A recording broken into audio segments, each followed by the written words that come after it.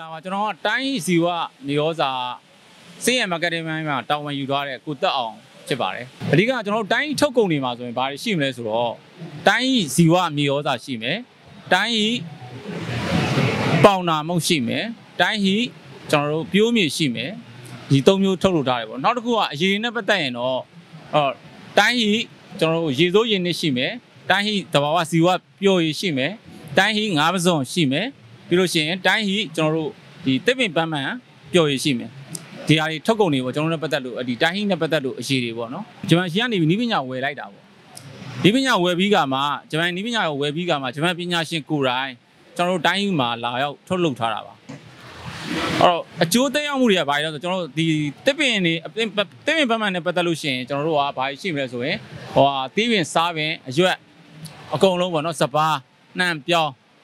ကျွန်တော်တို့အကုန်လုံးရတယ်နောက်တစ်ခုကသူကကြတော့ဒီဇီဝနဲ့ပတ်သက်ရင်ဇီဝနဲ့ပတ်သက်ရင်တော့မြန်မာနိုင်ငံမှာဒီတိုင်းဟိတစ်ခုပဲရှိပါတယ်အဲသူ့ရဲ့အကျိုးရဲ့အာနိသင်ကသူကအေရိုဘီဖြစ်တဲ့အတွက်မလို့သူကကျွန်တော်တို့ဘက်တီးရီးယားကိုမွေးတဲ့အခြေခံကစတာပေါ့အဲ့တော့ဒီဂျပန်ပညာရှင်ကဤပညာကျွန်တော်တို့ဒီတိုင်းဟိကုံဒီ manufacturing ပေါ့နော်သူကနေပြီးတော့ဝယ်ယူပြီးတော့ဤပညာကိုဝယ်ယူပြီးထုတ်လုပ်ထားတာဖြစ်တဲ့အတွက်မလို့ဒီတောင်သူတွေအနေနဲ့ နော်နောက်ပြီးတော့ဒီဟိုစိုက်ပျိုးတောင်သူတွေအနေနဲ့စိတ်ချလက်ချသုံးဖို့အကြံပြုခြင်းတယ်နောက်ပြီးတော့အဓိကကမြေကိုပြုပြင်ပေးတာတိုင်းဟိဟာလေဟောမြေတွေကကျွန်တော်တို့ကမြေဒီဓာတ်မြေဩဇာကြီးသုံးဆွဲခဲ့တဲ့နှစ်တွေကြာလာတဲ့ခါကျတော့ဘာဖြစ်လဲဆိုတော့ပြဿနာဟောဆိုမြေကန်တွေမှာမြေစီရွာကြီးဆုံးရှုံးလာခဲ့အဲမြေစီရွာကြီးဆုံးရှုံးလာတော့အပင်တွေကတစ်နှစ်တစ်နှစ်ရော့ရော့ရော့ရော့ရော့ရော့လာခဲ့တယ်အထွက်တွေမတိုးတော့ဘူးအဲ့ပြဿနာတွေကိုဖြေရှင်းဖို့အဓိက အာအကြံပြုတာပေါ့နော်နောက်ဒီပြိုးမြေနဲ့ပတ်သက်လို့ရှိရင်တော့ဒီပြိုးမြေကိုကျွန်တော်တို့ကစီဒီအပင်မျိုးစေ့ပေါ့အဲ့ဒီအချိန်မှာစတင်သုံးဆဲထားမယ်ဆိုလို့ရှိရင်တော့အပင်ရဲ့ခံနိုင်ရည်ဒီအသီးပင်စားပင်ဒီစွန်စပါးပဲအကုန်လုံးကအဓိကယောဂခံကိုခံအားကောင်းလို့ရှိရင်သဘောတရားဘာယောဂမှမဝင်ဘူးပေါ့အဲ့ဒီသဘောတရားပဲအဲ့တော့ကျွန်တော်တို့က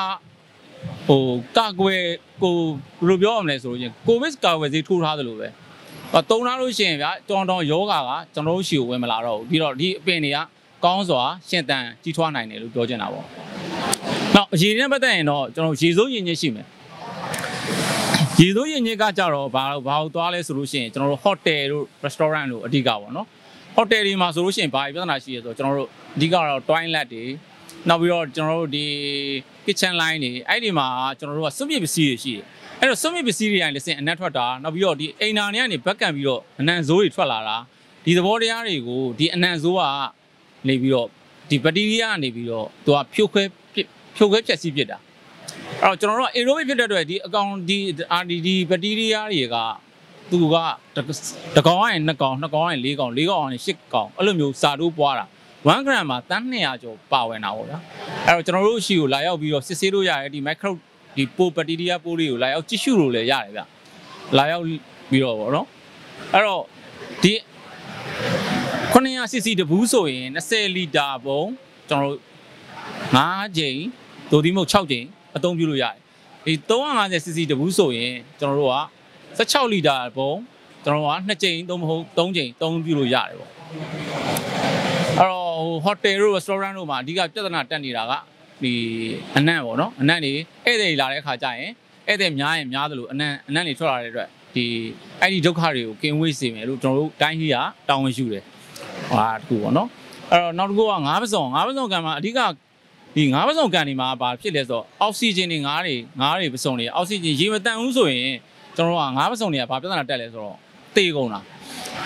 အဲတေရောတဲ့အခါကျတော့အဲ့ဒီဒီ ဒီအရေးကဘာလို့ပေးတာလဲဆိုတော့ကျွန်တော်တို့ကံကိုကံဩဇာကောင်းပုံမကောင်းမွန်လာစေတယ်ဒီအရေးကိုထည့်လိုက်ငါးပစုံဒီအရေးကိုထည့်လိုက်ရင်ကံဩဇာကောင်းလာနိုင်တယ်ပြီးတော့ဟိုရေကို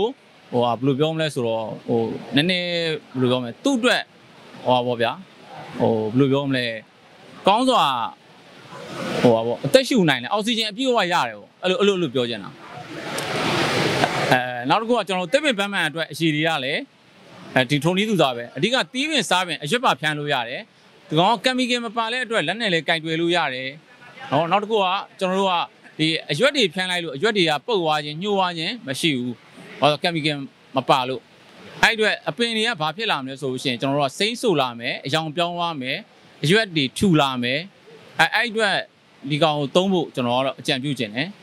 အဲ့တော့ဒီဇီဝမြေဩဇာနဲ့ပတ်သက်ရင်တော့မြန်မာနိုင်ငံမှာဆိုရင်တော့ ဒီတိုင်းဟိဇီဝမြေဩဇာတစ်ခုပဲရှိတယ်အဲ့အတွက်ဝယ်ယူသုံးဆဲဖို့ဒီ customer တွေတောင်းသူတွေနော်လက်ရှိဒီနောက်တဘာဝပတ်ဝန်းကျင်ထိမ့်သိမ့်ဖို့အတွက်